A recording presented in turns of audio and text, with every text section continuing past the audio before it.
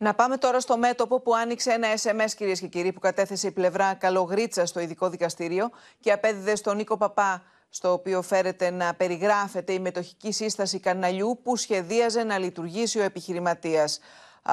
Ο ΣΥΡΙΖΑ και ο Νίκος Παπάς μιλούν για πλαστό SMS, όμως ο δικηγόρος του Καλογρίτσα, ο Ανδρέας Λοβέρδος, επανήλθε, θα μας τα πει η Στέλλα Παπαμιχαήλ, κάνοντας λόγο Στέλλα καλό μεσημέρι, για την ύπαρξη εκατοντάδων άλλων τέτοιων SMS.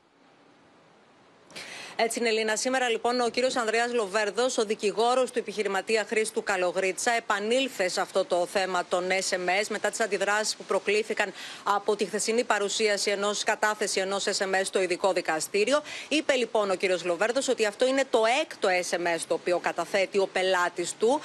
Ε, τα άλλα πέντε έχουν ήδη κατατεθεί, όπως είπε και βρίσκονται στη δικογραφία, στο πλαίσιο της έρευνας που είχε κάνει η Προανακριτική Επιτροπή της Βουλής. Είναι το έκτο SMS το οποίο αποδίδει στον Νίκο Παπά και σημείωσε ότι έχει άλλα 200 ακόμη στην κατοχή του ο πελάτης του. Αλλά είπε ο κύριος Λοβέρδος ότι είναι στην κρίση του κυρίου Καλογρίτσα εάν αυτά τα μηνύματα θα βγουν προς τα έξω, εξηγώντας παράλληλα ότι δεν μπορεί να απαιτήσει ο εισαγγελέας κάτι τέτοιο παρά το γεγονός ότι έχει αναφερθεί δημόσια. Πάντως, Λίνα, όπως είπες και εσύ, είναι ένα νέο σφοδρό μέτωπο πολιτικής αντιπαράθεσης το οποίο έχει ανοίξει μεταξύ κυβέρνησης και αντιπολίτευσης αυτές οι καταθέσεις στο ειδικό δικαστήριο για το θέμα του διαγωνισμού των τηλεοπτικών αδειών, με τον Νίκο Παπά να κάνει λόγο για ψέματα, για συκοφαντίες από την πλευρά του κυρίου Καλογρίτσα, του επιχειρηματία, και τη Νέα Δημοκρατία να ζητά απαντήσεις, κατηγορώντας το ΣΥΡΙΖΑ ότι ειδικευόταν στη διανομή ποσοστών μεταξύ καναλαρχών. Να σου πω, Λίνα, και μια είδηση της τελευταίας ναι. στιγμής εδώ από τη Βουλή που αφορά τον ανεξάρτητο πια βουλευτή, τον κύριο Ανδρέα Πάτσι, ο